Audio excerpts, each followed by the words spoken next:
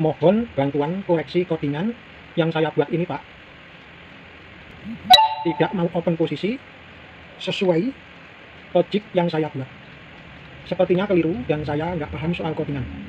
Mohon bantuannya. Siap. Codingan Anda akan saya cek ya Mas Fahrul yang perlu diedit pertama di baris 24 extend double take profit. Nah ini 00 nah itu diganti 10 nah kemudian di scroll lagi ke bawah. Nah di bagian baris ini ya Mas Fahrul 56 dan 66 nah ini double fungsi. Nah jangan digunakan semua dipilih salah satu. Fungsi on tick saja atau fungsi start.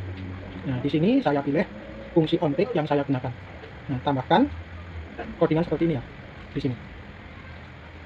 Saya tambahkan codingan ini bintang garis miring 1 di baris 67 dan di baris 57 kemudian klik compile. Nah muncul tiga error ya. Nah ini harus diperbaiki. Bagi bapak ibu terutama Pak Fahrul tentunya bingung ya. Kalau membuat robot korek di compile kemudian muncul error. Errornya itu seperti apa cara memperbaikinya bagaimana? Nah ini harus dicari errornya ini tiga. Ini yang paling atas dulu errornya seperti apa ya? Ini di scroll ke atas. Nah ternyata errornya return return return void function return a value. Nah, cara memperbaiki error return void function return a value pada waktu membuat expert visual trading. Nah, ini diklik ya. Nah, ini ya teman-teman errornya. Nah, ini dihapus. Nah, kemudian yang ini return ini juga diklik. Nah, ini juga dihapus. Terus yang ketiga ini ya, ini juga diklik. Nah, kursornya lari ke coding yang terdapat error ini juga dihapus. Nah, demikian itu ya cara memperbaiki codingannya ya Kak Fahru di mana Anda minta request karena codingan Anda tidak bisa melakukan open posisi. Nah, mudah-mudahan dengan dikoreksi bagian return dan bagian fungsi kontik dan start tadi, codingan ini dapat menghasilkan EA yang bisa melakukan transaksi flag B dan sell sesuai keinginan Anda. Nah, ini titik kumpul.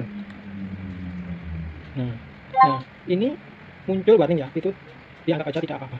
Tapi kalau Anda ingin membuat codingannya perfect, ini harus diperbaiki warningnya. Tapi pada kesempatan ini, warning ini tidak akan saya perbaiki. Sebabnya, walaupun muncul warning, AI itu kadang-kadang masih mau melakukan transaksi. Nah, sekarang akan saya coba jalankan robotnya di strategi tester. Nah, caranya klik tool ini, terus klik trading terminal untuk mengeluarkan grafik fire forex atau bot. Nah, ini sudah terbuka grafik GBP USD H1 ya. Dan robotnya sudah saya install tadi. Sekarang akan saya coba jalankan robot ini di strategi tester caranya klik kanan klik export episode klik strategi tester nah, kemudian klik export property. Nah anda bisa klik testing untuk mengganti modalnya. Atau klik input untuk mengganti value nya nah kalau mau mengganti bagian value nya ini saja yang bagian start dan step dan stop ini dibiarkan. Klik reset klik ok. Nah use that from tanggalnya dipilih itu tanggalnya dipilih. Kemudian klik start.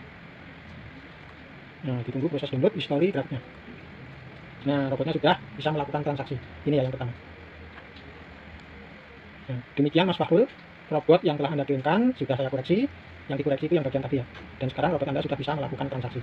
Nah, bagi teman-teman yang ingin minta bantuan untuk mengoreksi codingan MT4-nya waktu membuat robot korek, karena codingannya tidak sesuai harapan, misalkan tidak mau melakukan open posisi setelah di running static tester, nah, jangan sungkan-sungkan untuk minta bantuan dikoreksi dengan cara mengirimkan file MT4-nya ke email my channel. Tentunya tuliskan dulu di kolom komentar ya kalau mau request koreksi coding MT4-nya.